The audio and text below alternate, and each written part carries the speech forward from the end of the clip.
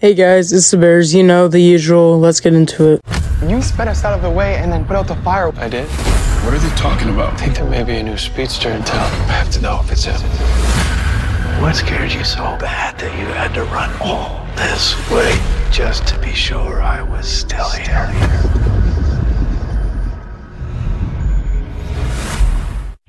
First, we see the first crime scene, which is what I'm suspecting. It could be the second one, which, yes, I'm suspecting there are two crime scenes because they look slightly different. But if it's not, I won't get mad because why would I get mad at something so silly? And then we see Reverse Flash, which, whoa, long hair, way different. The place where he's going is like the island where Oliver Queen was on, which that's where they keep their villains, so that makes sense.